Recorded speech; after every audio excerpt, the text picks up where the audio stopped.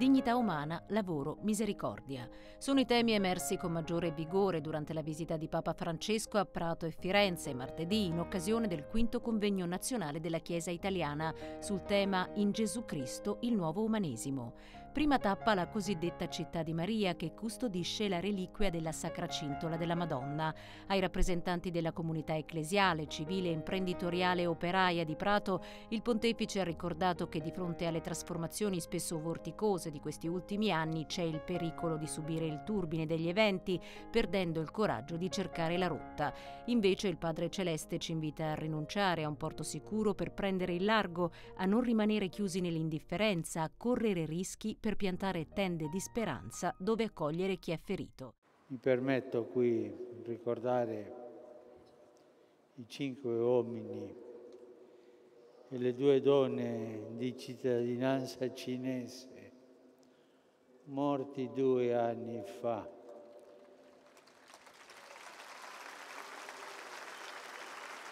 a causa di un incendio nella zona industriale di Prato. È una tragedia dello sfruttamento e delle condizioni inumane di vita. E questo non è lavoro digno.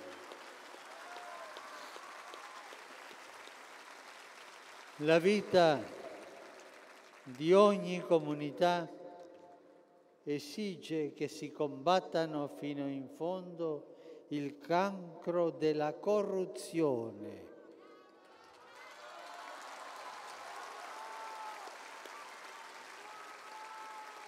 Il,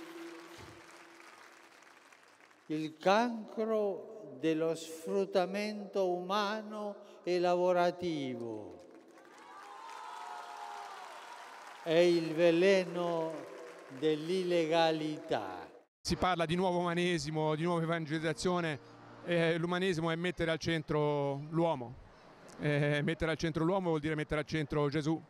Quindi questo deve essere un impegno quotidiano. Nella splendida città di Firenze, dopo una breve sosta nel battistero, Papa Francesco si è recato nella cattedrale di Santa Maria del Fiore, dove ha tenuto un discorso intenso e programmatico. Ai vescovi italiani e ai 2500 delegati del convegno ha chiesto di non cercare di addomesticare la potenza del volto di Cristo, che ha versato il proprio sangue per la salvezza di tutti e non di pochi, di portare per le strade del mondo l'umanesimo cristiano, che non dovrebbe mai essere narcisista e autoreferenziale, di costruire costruire piazze e ospedali da campo e non muri e frontiere tra gli uomini e le donne prostrati dalle fatiche della vita e dal peccato. Il Vangelo, eh, dice appunto Papa Francesco, è rivoluzionario. Cosa vuol dire? Vuol dire che il Vangelo non lascia la persona com'è, ma non lascia neanche la società e il mondo com'è, cambia radicalmente. Se uno ovviamente l'accoglie e se lo mette in pratica, incarnandolo nel suo vissuto concreto.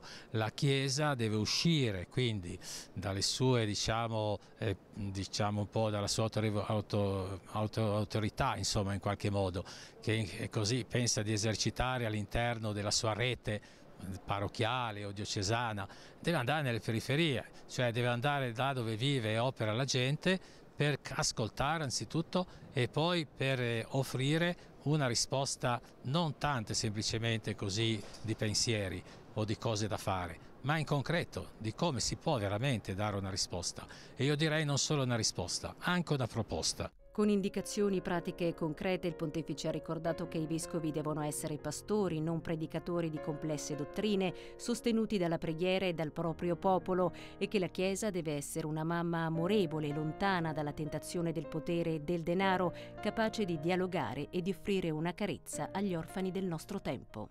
Mi piace una Chiesa italiana inquieta, sempre più vicina agli abbandonati ai dimenticati, agli imperfetti. Desidero una Chiesa lieta col volto di mamma che comprende, accompagna, accarezza.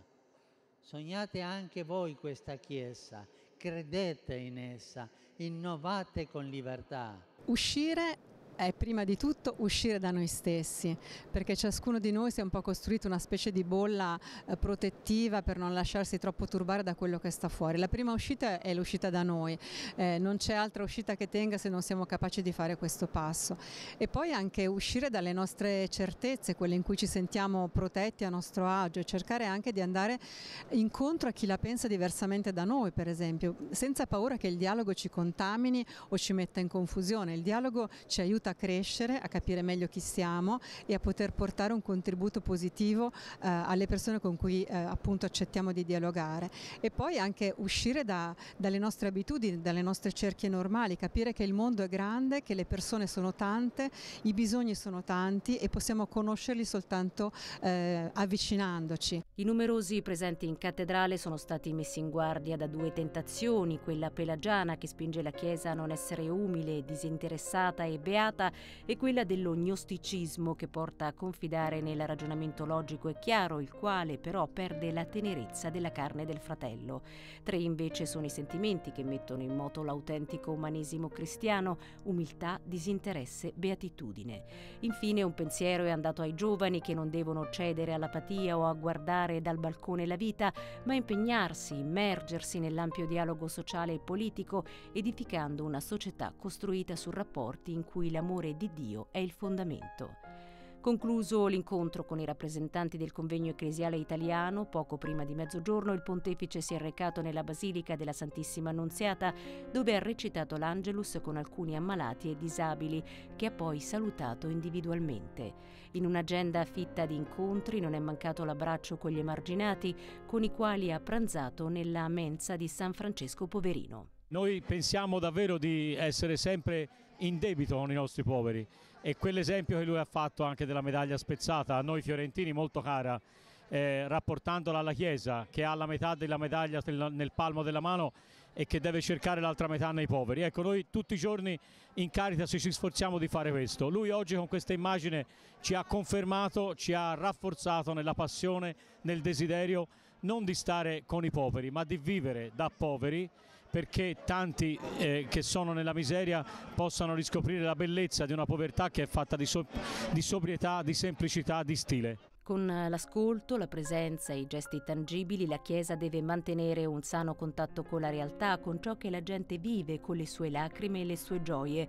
E Papa Bergoglio lo ha ricordato celebrando la messa nello Stadio Franchi, presenti 50.000 persone, precisando che sull'esempio del Figlio di Dio l'unico modo per parlare ai cuori delle persone è toccare la loro esperienza quotidiana, il lavoro, la famiglia, i problemi di salute, il traffico, la scuola, i servizi sanitari. La nostra gioia è anche anche di andare controcorrente e di superare l'opinione corrente che, come allora, non riesce a vedere in Gesù più che un profeta o un maestro.